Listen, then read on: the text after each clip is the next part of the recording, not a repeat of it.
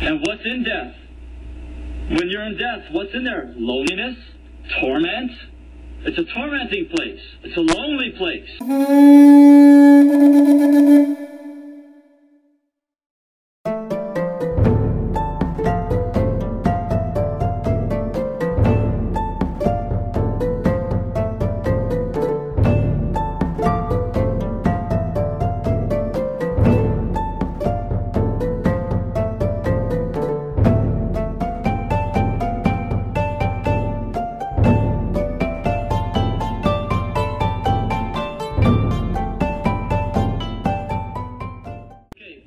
Issues maybe not, but that one, okay. Because for me it's easy to entreat and believe it has nothing to do with me or my righteousness, you understand? I believe God will prosper this for the sake of His Word, and for the sake of Brother Stair. So it has nothing to do, my status, so uh, has nothing to do with whether my conscience is defiled or not defiled. I, see, I'm not doing it out of a sense of my conscience being defiled. My confidence is in what God is doing for His purpose and His Word and His will. So then I'm confident that I'm not acting out of a out of a, a foundation of a defiled conscience. All right. Uh, First Timothy chapter one verses five to ten. The end of the commandment, or the goal, or here's how what God wants you to end up as.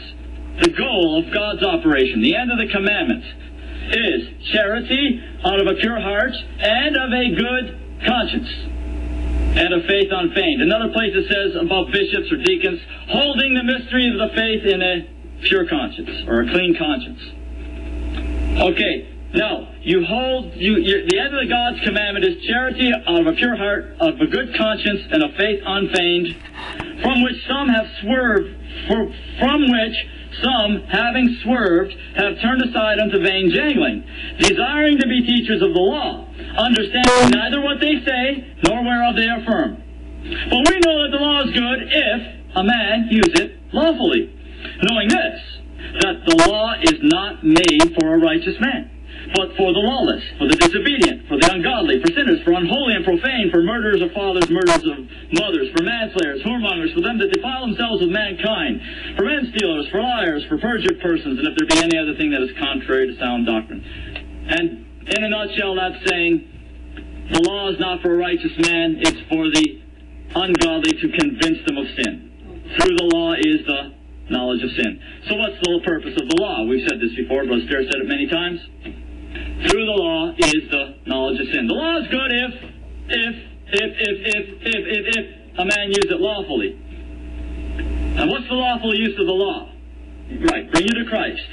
The wrong, the, the, the unlawful use of the law is to say, okay, here is the law, we will develop a perception of a standard based on these laws and principles, and I as an individual insist that you hold this standard and conduct and code of behavior.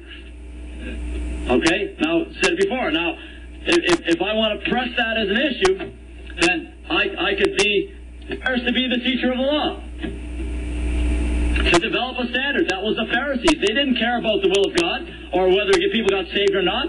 They wanted to glory in somebody else's flesh. They wanted to feel very high about themselves concerning the power and influence they had to make others submit to their standard of righteousness. There's nothing wrong with wanting somebody to submit to the standard of God's righteousness.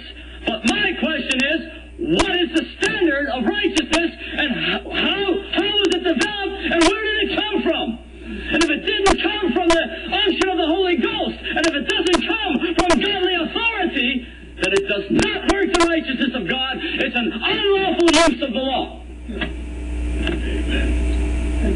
But by and large, that's been our exercise. Identifying sin instead of identifying with the sin. Being a partaker of it, and of course that's covered quite nicely in Romans chapter 2. Thou art an excusable, O man, whosoever hour that thou judgest, for wherein thou judgest another, thou contemnest thyself.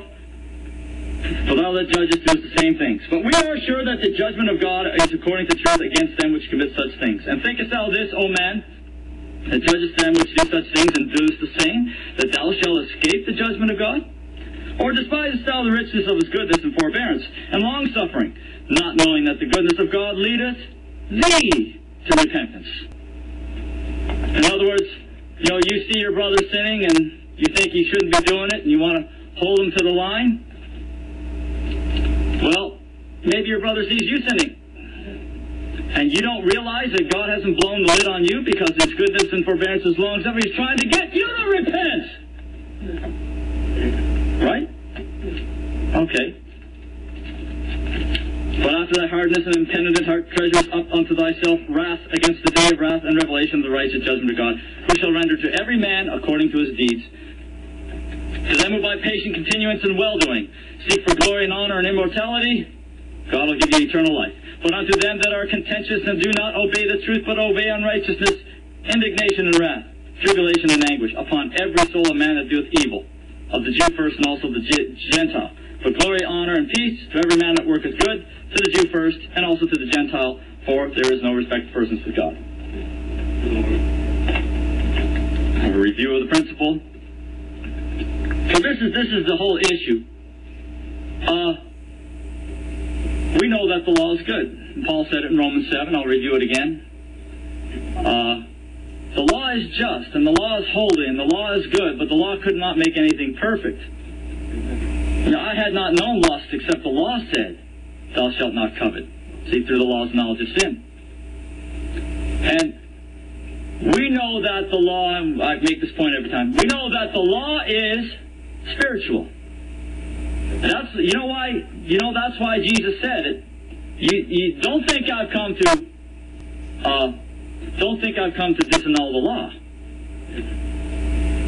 I've come to fulfill it. And he said, and until all is fulfilled, there's not one jot or tittle of the law that's going to pass until all is fulfilled. Okay? And if I can insult your intelligence once again and ask you the most stupid rhetorical question, has all been fulfilled? Of course not all has not been fulfilled because we're still here, folks. Yeah. So, not one jot or tittle of the law is going to pass away. It's just that we got to know what it's for and we got to use it lawfully. And we can't develop our standard and our expectation of what is right based on the law by taking the judgment of our conscience and developing a perception and a standard based on the law and saying, I, I think I know what God's will is. Because you don't. You don't know. I don't know. It has to be revealed. Purpose, His eternal purpose, the mystery of His will, has to be revealed. It happens all the time. You're not going to circumvent or avoid or prevent the manifestation of evil because it is a vital part of God's purpose. I'm not saying let's do evil that good may come. I'm just talking about a reality.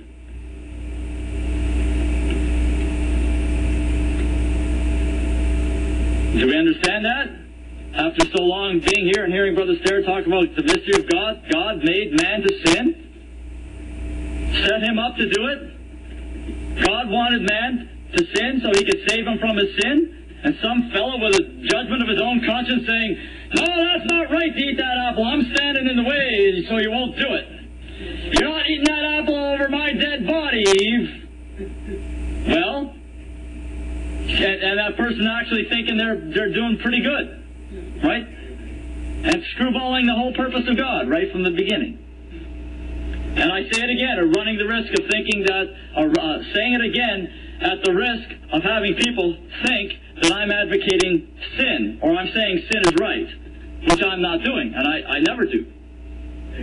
Now, I know what I perceive about this, and I know who I learned it from. I learned it from Brother Stair. And I know who gave me the increase, the Holy Ghost. And I know why he gave me the increase. Because I received it from Brother Stair. I have a little bit of the prophet's reward. And I perceive this. I'm not shooting off the lip. I've been thinking about this eternal purpose for a mighty long time. All right. But here's the danger of self-righteousness and the misuse of the law. Let's get back to the law. Sin took occasion by the commandment. You know, sin can't be sin in you unless it's opposing, rebelling against something, right? Sin has to rebel against something in order to establish its identity against somebody else's identity, right? If, if God says, I want you to walk towards the left, Well, then that becomes a command. That becomes a law, right? I want it, that becomes the will of God. Now, if you walk towards the left, you are now uh, an expression, a manifestation of God's desire, and you are one with God. You are an expression of God's desire, right? And so then your identity is with Him. Your identity is being used to express His identity. They're equal. They're one.